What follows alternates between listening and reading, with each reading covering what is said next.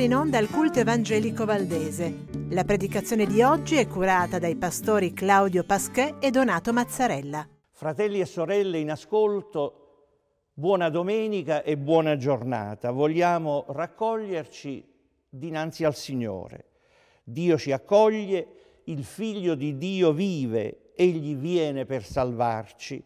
Il nostro volto si illumini, il nostro cuore si rallegri. Amen. Al Signore appartiene la terra e tutto quello che è in essa, il mondo e i suoi abitanti.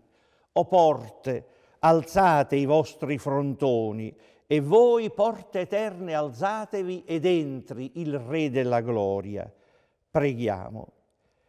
Padre nostro, la tua bontà, la tua benedizione, la tua grazia e la tua misericordia sono con noi e con tutti coloro che temono il tuo nome. Voglia tu benedire ciascuno di noi e tutti insieme con la luce della tua presenza, perché, Signore nostro Dio, con la luce della tua presenza tu ci hai dato la legge della vita e l'amore per la grazia, la giustizia, la benedizione, la misericordia, la vita e la pace sia lode a te, sorgente della pace. Amen.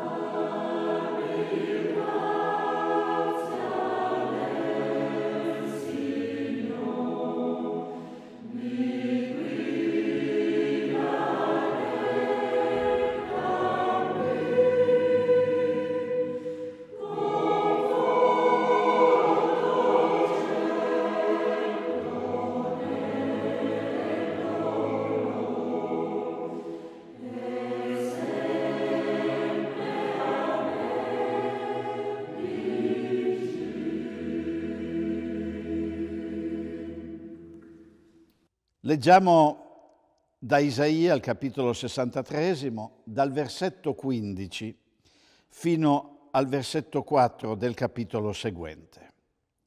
Guarda dal cielo e osserva, dalla tua abitazione santa e gloriosa, dove sono il tuo zelo e i tuoi atti potenti. Il fremito delle tue viscere e le tue compassioni non si fanno più sentire verso di me. Tuttavia tu sei nostro Padre, poiché Abramo non sa chi siamo e Israele non ci riconosce. Tu, Signore, sei nostro Padre, il tuo nome in ogni tempo è Salvatore nostro. Signore, perché ci fai peregrinare lontano dalle tue vie e rendi duro il nostro cuore perché non ti tema? Ritorna per amore dei tuoi servi, delle tribù della tua eredità per poco tempo il tuo popolo santo ha posseduto il paese. I nostri nemici hanno calpestato il tuo santuario.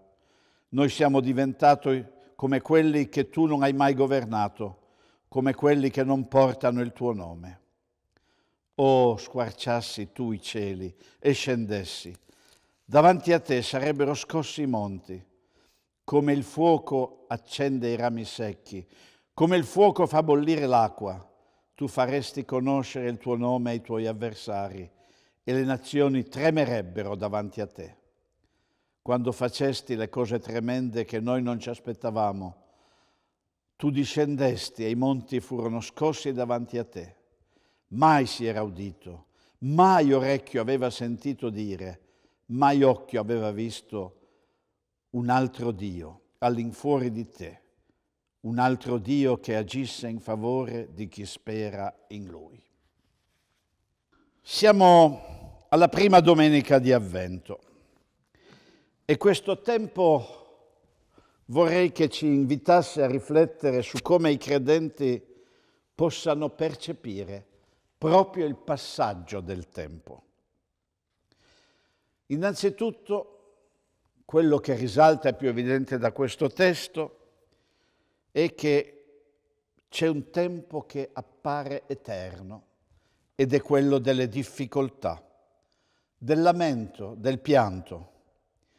Il tempo in cui i deboli nella fede, i non credenti e spesso i credenti dicono dove sono il tuo zelo, i tuoi atti potenti, il fremito delle tue viscere e le tue compassioni non si fanno più sentire presso di me.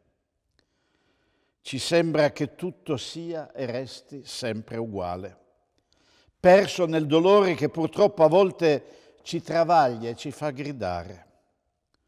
Oggi tra pandemie che rialzano la testa, rumori di guerre mondiali, prezzi impazziti delle merci e bollette energetiche, hanno facile gioco quanti dicono va male e andrà sempre peggio.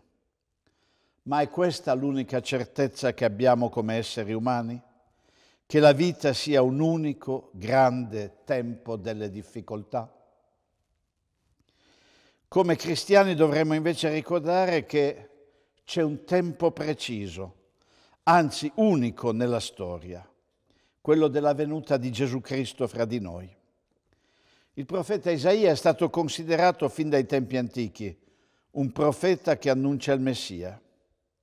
Fra i tanti motivi c'è anche quello che lui usa, di definire Dio come nostro Padre, tu, Signore, sei nostro Padre, il tuo nome in ogni tempo è Redentore nostro. Non succede spesso nell'Antico Testamento, ma sarà uno dei motivi dominanti della predicazione di Gesù. Dio è un Padre, anzi, un Padre amorevole, buono e pronto al perdono, come ci racconta la parabola del figlio il prodigo.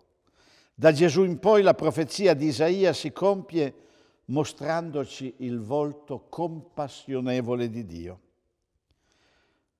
Di compassione abbiamo un particolare bisogno proprio nei tempi difficili della vita. Ricordiamoci della venuta di Cristo come avvento della compassione di Dio per tutto il mondo, anche per il mondo che non ascolta il Signore e anzi lo nega come il tempo delle guerre, delle ingiustizie, della brutalità fra i rapporti umani. La sua compassione ci spinge a non arrenderci, a non dare il male per scontato, anzi ad impegnarci, perché anche noi si diventi agenti di compassione verso il nostro prossimo. Infine, c'è il tempo che Dio trasforma con la sua speranza. Lo sappiamo fin dall'antichità che Dio agisce e si impegna per i suoi figli e le sue figlie. Ma quando siamo colpiti da qualche guaio ci sembra non vederlo. Ecco che Isaia ci ricorda invece che Dio poi interviene e agisce. Mai si era udito, mai orecchio aveva sentito dire, mai occhio aveva visto che un altro Dio all'infuori di te agisse in favore di chi spera in Lui il Padre amorevole che Gesù ci ha annunziato continua a dimostrarci la sua presenza fra di noi. Lo fa col suo Spirito, che continua a rivelarci possibilità di amore e di giustizia anche in mezzo ai mali del mondo. A noi è chiesto di tenere viva con la fede la fiamma della speranza. Dio ha agito, agisce e agirà. Che l'avvento sia occasione per strapparci dalla sensazione di eternità del male per farci vedere la vera eternità, che è quella dell'amore di Dio per noi. Amen.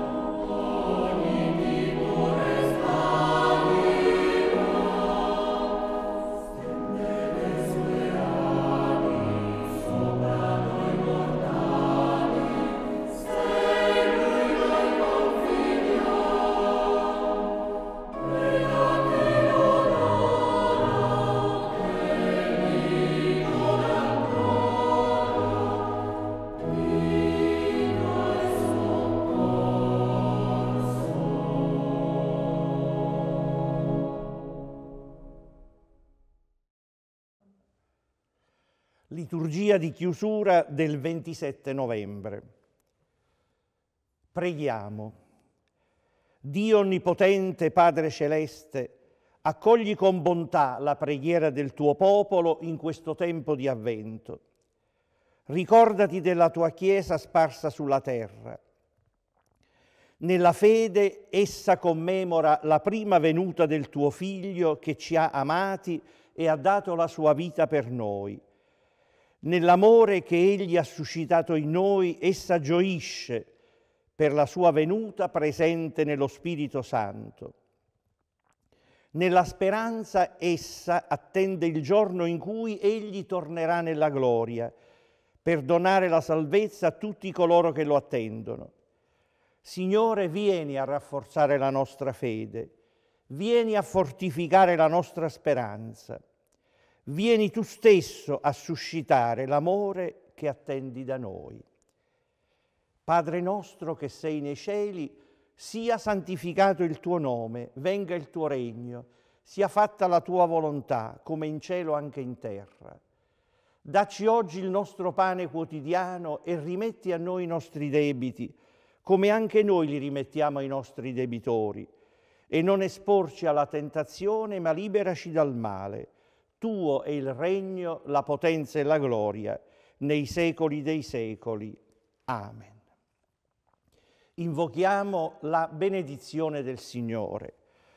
Ora siete luce nel Signore, comportatevi come figli di luce, poiché il frutto della luce consiste in tutto ciò che è bontà, giustizia e verità la grazia sia con tutti quelli che amano il nostro Signore Gesù Cristo con amore inalterabile. Amen.